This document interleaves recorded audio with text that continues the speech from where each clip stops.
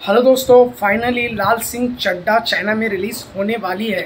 कब रिलीज़ होगी, ये जानने के लिए वीडियो के साथ जुड़े रहिए, आखिरी तक वीडियो को देखिए।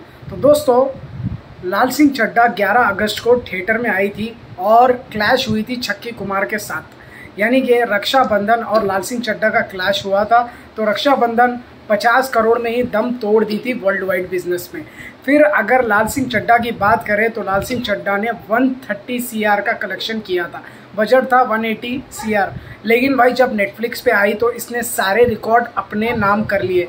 भाई यार, पूरा रिकॉर्ड्स ब्रेक कर दिए थे लाल सिंह चड्डा ने। तो दोस्तों, लाल सिंह चड्डा में छः गाने थे छः गाने छः गाने पूरे सुपरहिट गाने थे। भाई यार सिनेमाटोग्राफी की बात करें तो सुपर डायरेक्शन की बात करें तो ऑसम और आमिर खान की एक्टिंग ने तो चार चाँद लगा दिए थे मूवी के। मुझे लाल सिंह चड्डा पर्सनली बहुत ही ज़्यादा पसंद आई थी। तो दोस्तों, हाल ही में एक न्यूज़ आई है कि लाल सिंह चड्डा चाइना में रिलीज़ होने वाली है।